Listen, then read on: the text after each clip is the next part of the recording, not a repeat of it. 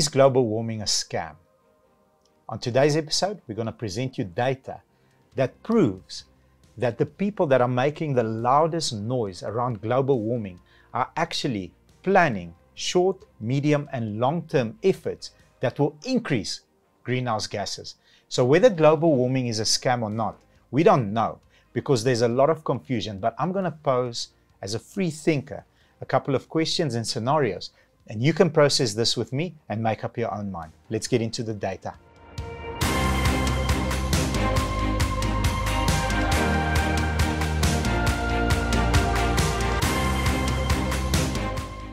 Number one, if the oceans are rapidly rising, ice sheets are shrinking, glaciers are retreating, snow cover is decreasing, sea levels are rising, and it's this whole big tragedy. Why do banks keep lending money, millions upon billions upon trillions of dollars and other currencies for beachfront properties?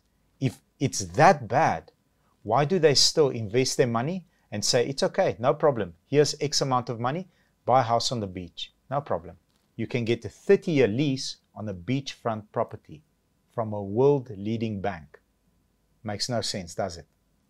The leader of the free world, Joe Biden, has a controversial, has approved a controversial venture called the Willow Project. The project has faced opposition from environmental groups who argue it will add to planet warming carbon pollution to the value of 9.2 million metric tons of planet warming carbon pollution per year, equivalent to 2 million gas powered cars on the roads. Yet, it was signed off and the project is kicking off. Does that make any sense to you? Doesn't make any sense to me. Maybe it does to you. Number three, the massive massive push for electrification and electric cars. Yet, we don't have a safe way to dispose of the toxic batteries that are required to run these vehicles, these EVs. Does that make any sense to you? Disposed in soil dumps are these batteries. What do you think this happens to the soil and the underground rivers and that whole ecosystem where these batteries are disposed currently. That's where our food comes from. So, in closing, three problems need to be solved, and the link between the three needs to be aligned.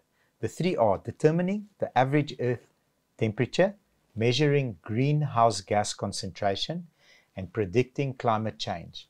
Now, unfortunately for us, there are no computers currently in existence that can predict the temperature of the Earth past 100 years. Doesn't exist. We can't do it. So what we're saying is we're not with or against global warming movements. What we're saying is everything on our planet needs to be treated with respect. Whether you're looking at the oceans, the soil, plants, birds, humans, animals that roam free need to be treated with respect. And we're also pleading with the people that are going to watch this episode don't just take everything from the media as truth and correct because the media is a machine. Be a free thinker, question, ask. If you're passionate about the subject and you care, ask and get different people's perspective because what's right for me is perhaps not right for you. But in a logical conversation, you know, logic should be the truth. Hope you guys enjoy this episode. Hope you have a fantastic day. Take care and have a good one. Bye bye.